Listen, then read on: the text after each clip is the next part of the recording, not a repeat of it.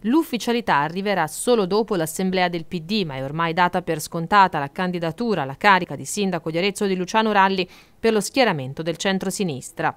Salvo terremoti dell'ultima ora, a cui comunque la politica aretina ci ha abituato, toccherà dunque al medico aretino il compito di riportare nelle mani del centro-sinistra il comune capoluogo. 63 anni, attuale capogruppo del PD in Consiglio Comunale, è stato protagonista dell'ultimo Consiglio dove sono stati affrontati i temi che oggi fanno tremare i polsi al centrodestra, le due inchieste giudiziarie, Coingas e Multiservizi. Il sindaco di Arezzo Alessandro Ghinelli si è sempre detto sereno ed estraneo ai fatti, ma ancora la sua ricandidatura non è stata ufficializzata. Lui si è detto a disposizione più volte.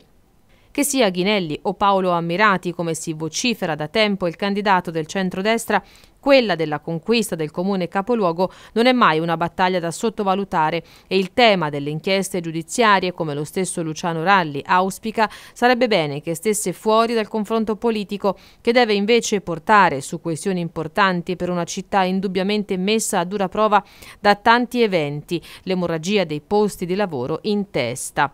Io ho posto una do sola domanda al sindaco e cioè eh, abbiamo richiesto che lui eh, in sede di consiglio comunale, ma di fatto parlando alla città, togliesse dal, dal terreno, dal, dal, tavolo del confronto politico eh, la vicenda giudiziaria. Cioè eh, noi delle opposizioni, i cittadini d'Arezzo, la città deve essere tranquilla che è amministrata eh, con trasparenza e le vicende che noi abbiamo letto sul giornale, noi, non certo. è che noi sappiamo qualcosa di più di, di, quello che sanno i cittadini di Arezzo, pongono dei temi di non trasparenza, di, diciamo, di rapporti eh, non fiduciari eh, tra esponenti del centrodestra, qualcosa che si può anche ipotizzare reato, insomma ci sono delle indagini. Rispetto a questo abbiamo chiesto di, di togliere dal campo eh, i dubbi, eh, purtroppo molto serenamente, nel senso che io non ho accusato nessuno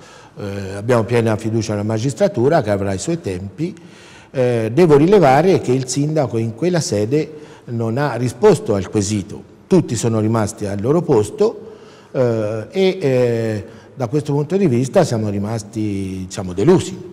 Insomma, il prossimo sindaco non avrà certo un compito facile. L'auspicio è che si pensi più alla concreta realizzazione dei programmi elettorali piuttosto che alle alleanze. Coraggio e idee dovrebbero essere i binari su cui condurre Arezzo dal 2020 in poi.